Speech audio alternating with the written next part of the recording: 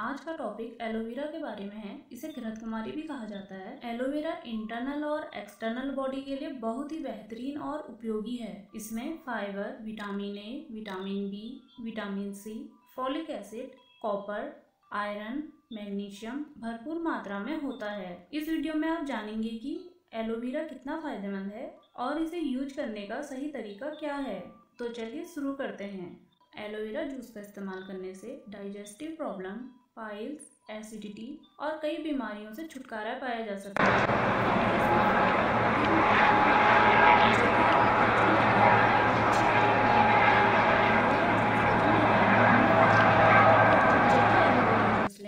तो उसमें पानी ऐड ना करें, क्योंकि इससे फॉलिक एसिड और फाइबर भरपूर मात्रा में होता है। तो अगर आप इसमें पानी ऐड करेंगे तो आपको उतना फ़ायदा नहीं मिलेगा जितना वाकई में मिलना चाहिए। आप इसे बिना पानी ऐड करे ही लें यह आपके लिए ज़्यादा लाभकारी होगा। एलोवेरा जूस को आप 15 से 20 एम रोज़ाना ले सकते हैं। अब बात करते हैं पीसीओडी या पीसीओएस की। एलोवेरा जूस पीसीओडी की समस्या को दूर करने के लिए बहुत ही फ़ायदेमंद है। इसके लिए 60 एम एलोवेरा जूस बिना पानी के रोज़ाना सुबह खाली पेट लें और ध्यान रखें कि इसे पीने के बाद 45 मिनट तक आपको कुछ नहीं खाना है, तभी एलोवेरा जूस आपके लिए फ़ायदेमंद रहेगा।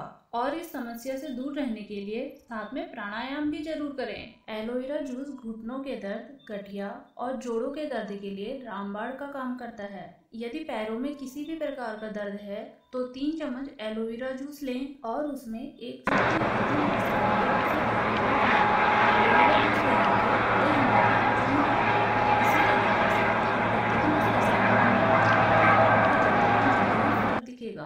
और अगर आपके फेस में पिंपल्स एक्ने और स्कार्स हैं तो आप एलोवेरा की फ्रेश लीव लें और सुबह उठ के एलोवेरा जेल को अपने पूरे फेस में अच्छे से लगा लें और 15 मिनट के बाद अपने चेहरे को धो लें। आपको पिंपल्स और उनके दागों से छुटकारा तो मिल जाएगा, साथ में आपकी स्किन भी काफ़ी ग्लो करेगी। हेयर फॉल और हेयर डैमेज में भी एलोवेरा काफ़ी उपयोगी है। एलोवेरा का इस्तेमाल आप कंडीशनर की तरह भी कर सकते हैं।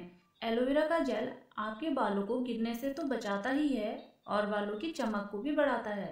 अगर आपको ये वीडियो पसंद आया हो तो लाइक, शेयर और सब्सक्राइब करें और बेल आइकन को दबाना ना भूलें।